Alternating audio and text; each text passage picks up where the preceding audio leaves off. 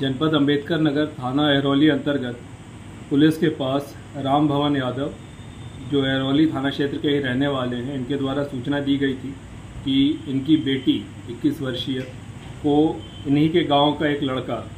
अंकुश गुप्ता लेके चला गया है। इस सूचना पर पुलिस द्वारा धारा 113 बटे मुकदमा अपराध संख्या एक सौ तेरह बटे चौबीस धारा तीन सौ छाछठ अंतर्गत अभियोग पंजीकृत किया गया था तथा इसमें इनकी बेटी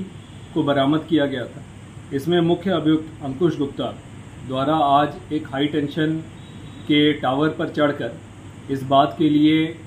आपत्ति की जा रही थी कि उसके विरुद्ध विधिक कार्रवाई न की जाए और उसकी, उस लड़की से शादी करा दी जाए। इस सूचना पर पुलिस द्वारा उसे समझा बुझाकर उतारा गया है तथा इस पूरे मामले में अग्रिम विधिक कार्रवाई की जा रही है। कानून व्यवस्था की कोई समस्या नहीं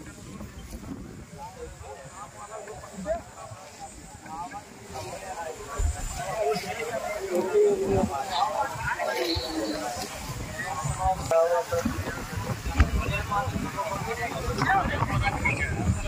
अरेस्ट कैसे किया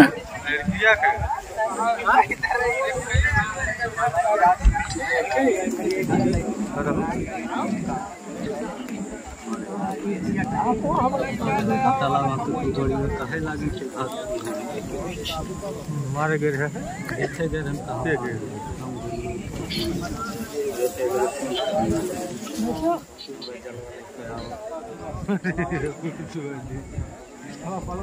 कैसे किया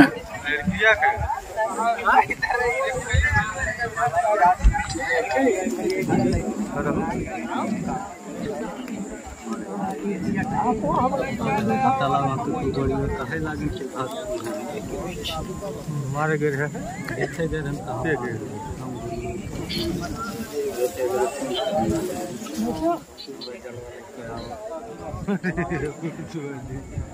हम